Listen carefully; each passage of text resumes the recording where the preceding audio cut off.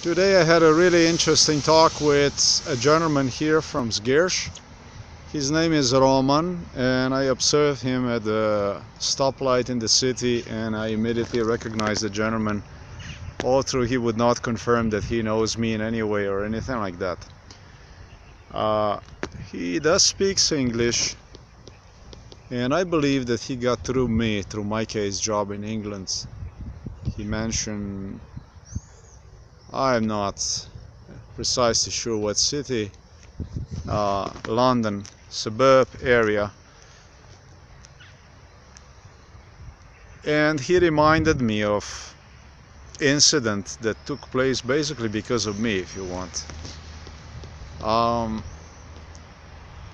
he complained about the racism in Poland. It's very bad situation and he might have been disappointed about yesterday's elections. And this is probably video I would say I relate one more to the yesterday's elections than anything else. Um, beside what I'm gonna address address is a top secret. Yeah yesterday not only elections took place but I got yet another person that recognized me because he gave me not a confirmation that he recognized me, but he would stop right next to me just as he promised he would do. And this happened around the lake area in Grotniki. And then he did exactly what he promised he would do because he too was insulted by Americans who were here. I don't know. They had kids from Czech Republic too. They had awfully a lot of people, American, Israelis too. And they behaved very, very, in very, very belligerent way also towards natives in Grotniki, I bet also in Zgierz and Lodz and so on. And he was a young kid back then,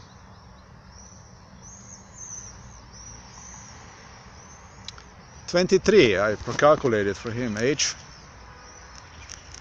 and he told me back then he met me. So many kids met me. And he said to me when you come back here I am gonna give you the confirmation. Um, did not exactly match his own expectations because he said that he's gonna recognize me and stuff like this but he gave me a recognition there were Americans right in Grotniki along the lake that it was in fact packed with them. Um, you know and this is yet another person that gives this kind of confirmation and it does relates to the Roman too because Roman today mentioned me this racism issue.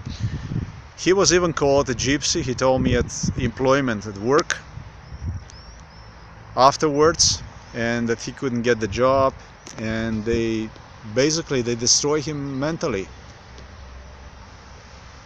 Although he did not want to say that he knows me or that I share responsibility for it, he did go exactly to his building, which I know, this is his home this is definitely the guy you would recognize He's a smaller guy stronger guy and I explained him that I share the responsibility for a lot of stuff that happened here in Zgierz. I'm not trying to hide anything. I'm not trying to get away from anything or from anybody. I'm not trying to run away from anybody. I preferably would stay here in Poland, right here in Zgierz, in Lodz area. Get married here and have kids and make this country once again Poland. This country is not Poland, this is just a Moscovian politic that re-elected itself yesterday again and it's something that people shouldn't be disappointed about because they don't have the control. The people don't have the control over the corrupt system that rules the country. It doesn't matter who you vote. What matters is who counts the votes. This is something you need to learn. However, there is something you can do. You can take the destiny in your own hands. It's not over here. The over will be if I actually make it across the border to the Germany. Then it's gonna hurt me. Then it's gonna be bad because your top secret that supposedly ate the troll is not a secret at all. This is just a attitude that a pedophiles would embrace.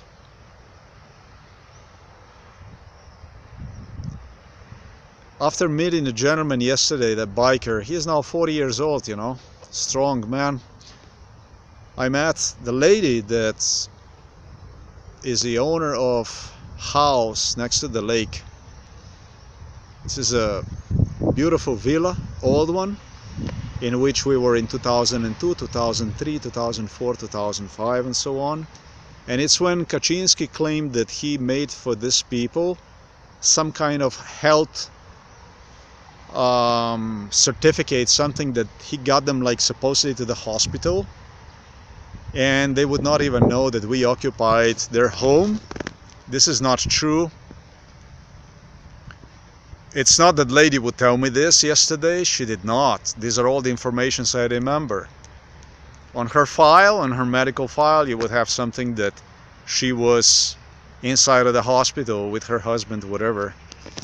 If she had a husband, I'm not sure. I remember her only. Um, no, I think that she had. I think that I know a little more about it. I have to think about it. The truth, however, is that it's not only that she knew about the case, she was vicious. She was a money thirsty lady that. Ah, I'm gonna say she hated me. I recall later on, when I yesterday, when I asked her about her place, she almost kind of acknowledged me as mentally ill in that kind of way that I am that I don't know what I'm talking about, that she was there, and so on and so forth. Yes, it's a pedo culture, and the pedo culture is real. It's this kind of secret like this that creates an rape, that creates an pedophilia. It's this type of culture that chokes Lodz, Zgierz with forced unemployment because it's this kind of culture that is used for you to basically sell yourself. You have suffered nothing but unemployment here in this area, and you have suffered one because of your DNA, which in some way it definitely is related to the Jewish DNA because it was a lot, a lot of Jewish people here in Lodz and you're being punished just like Roman told me today for the way you look this kind of top secret culture pedoculture doesn't do anything good. Not to you. The least what it does is to me 24 years of my life was destroyed. And it doesn't do good to the world. It doesn't do any good to anybody around the world because they learn this kind of culture. People in other countries that see this world becomes world is in danger and it's this kind of top secret that creates a bigger top secret you know the one that nobody see when nation actually disappears. So with this kind of culture you don't even do favor to the Poland with this kind of a top secret culture. When you're gonna take your destiny in your hands and then the elections are gonna reverse because for me personally Kaczynski should be in the jail and so should be Duda and Morawiecki. If I make it in this country with a claim that it comes public, that it becomes known, these people are gonna go sit in the jail. There will be no PIS. There only will be a real Poland, one Poland for everybody. Roman was a little bit shocked, probably today. The thing about it is that MK Ultra, it's basically I'm gonna do something that nobody ever did, and it's thanks to my own memories I have revived, the ability to revive the memories I have revived them. I'm gonna tell you what MK Ultra is precisely, to the last detail. MK Ultra is state of mind in which individual rates himself as mentally retarded. Did you know this? Did you ever thought about that stuff? I did yesterday.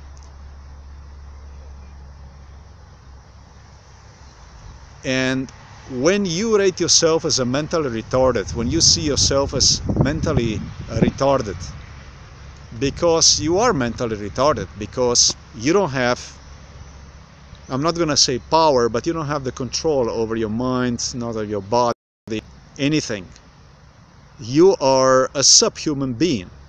You are a mentally retarded human being. Pretty much whether you like it or not what you're gonna do yes you're gonna start to insult people as much as you can around you. And this is the stuff that was used against you it was stuff that was used against me, it was stuff that is used against Poland and against the whole world. You never thought about this. I did not even understood what a dead man walking is when I was called as a dead man walking by Americans. Attention, dead man walking. And I looked around under MK Ultra, where is the dead man walking? How can that be a dead man walking?